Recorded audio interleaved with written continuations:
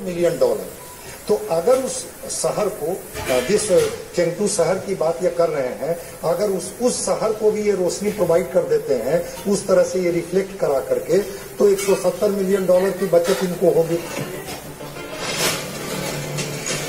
चीन अगर अपने ऑपरेशन मून लाइट में कामयाब हो जाता है तो ऐसा करने वाला वो दुनिया का पहला देश होगा। अब तक अमेरिका और चीन की स्पेस एजेंसियों ने कई बड़ी कामयाबी हासिल की है।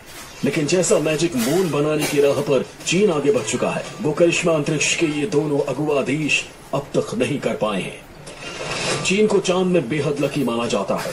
इस वक्त चीनी अंतरिक्ष एजेंसी अपने मून मिशन पर भी तेज़ी से आगे बढ़ रही है। इसके तहत चीन चाँद पर अपना रोवर उतारना चाहता है और ये मिशन अगले साल तक पूरा करने की तैयारी है। ब्यूरो रिपोर्ट, न्यूज़ ट्वेंटी कर बनाया। इस प्रोजेक्ट का उद्देश्य किसी भी मौसम में सोलर एनर्जी बनाना है। ये सूरज नहीं निकलने पर नकली सूरज तैयार करने जैसा है। चीन ने इतना डेंजरस एक्सपेरिमेंट एटम बम वाली तकनीक से किया है। लेकिन अगर ये एक्सपेरिमेंट फेल हो गया तो अब तक के सबसे बड़े एटम बम से भी सौ गुना ज़्यादा खतरनाक साबित हो सकता है। चीन ने न्यूक्लियर फ्यूजन की मदद से सूरज से 10 गुना ज़्यादा एनर्जी पैदा की। लेकिन न्यूक्लियर फ्यूजन की मदद से तैयार इस सूरज की एनर्जी को कंट्रोल करना सबसे बड़ा रिस्क है। दुनिया को कोरोना के अंधी महामारी में झोंक कर चीन ज़्यादा से ज़्यादा ताकत हासिल करने में जुटा है।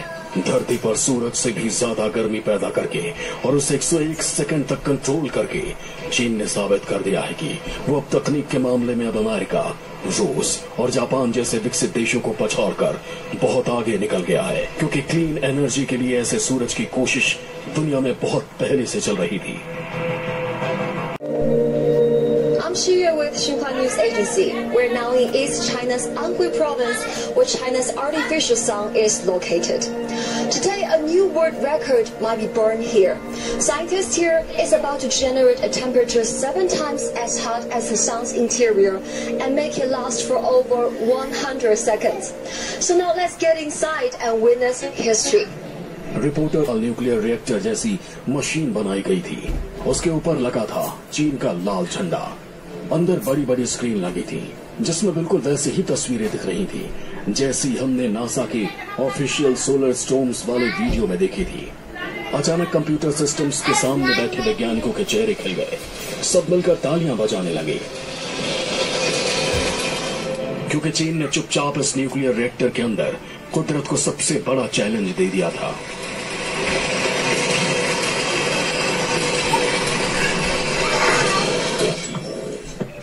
ये एक चाइना का न्यूक्लियर प्लांट है जिसमें फ्यूजन उसके बारे में ये एक कहें कि एक एक प्रोग्रेस उसको मानी जा सकती है। सूर्य से जो हमें ऊर्जा मिलती है, जो प्राकृतिक रूप में आसमान में हमें नज़र आता है, वहाँ पे फ्यूजन हो रहा होता है। यानी कि दो जो परमाणु है, वो मिलते हैं और उसके परिणाम से हीलियम बनती है और उनके मिलने के साथ जो एक्स्ट्रा एनर्जी है, वो रिलीज़ होती है, जिसके ज़रिए हम देखते हैं कि टेम्परेचर बहुत ज़्यादा हो जाता है और वो आता है।